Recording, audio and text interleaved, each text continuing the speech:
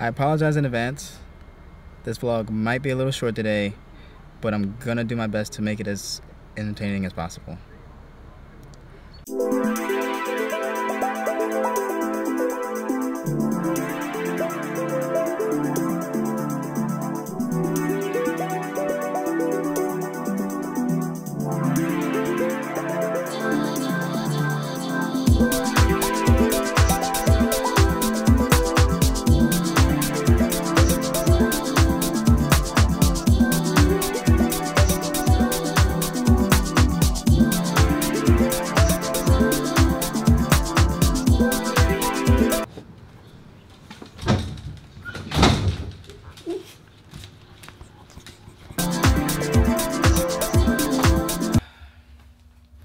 So, I get to go to church tonight, which means I get to wear something besides this.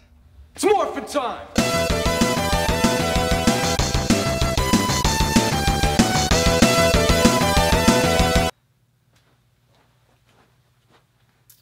So, as you can see, I changed pretty quickly, and I'm on my way to church.